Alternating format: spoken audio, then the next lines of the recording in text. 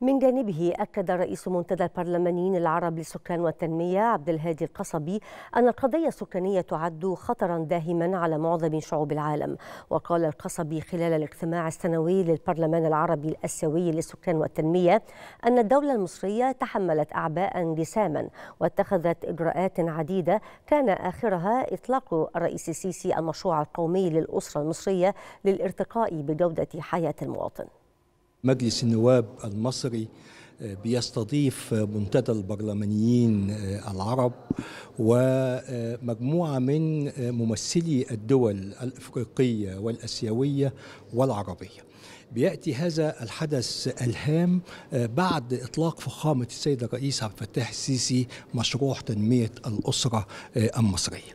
الحقيقة العالم أصبح كله دائرة ضيقة، المشكلة اللي بتحصل في أي مكان في العالم بتؤثر في جميع دول العالم. اللي إحنا بنتحدث فيه النهارده قضية الزيادة السكانية اللي بتلتهم بالفعل كل معدلات التنمية اللي موجودة وده يعني بيخلي التحديات ضخمة جدا. إحنا لسه بنتكلم يعني لو اتكلمنا عالميا الأعداد بتتضاعف أعداد السكان بتتضاعف. لو اتكلمنا عربيا وافريقيا أيضا الأعداد بتتضاعف. ولو اتكلمنا على دولتنا مصر بنلاقي إن إحنا 1920 كنا 13 مليون نسمة 2022 وصلنا 103 مليون نسمة.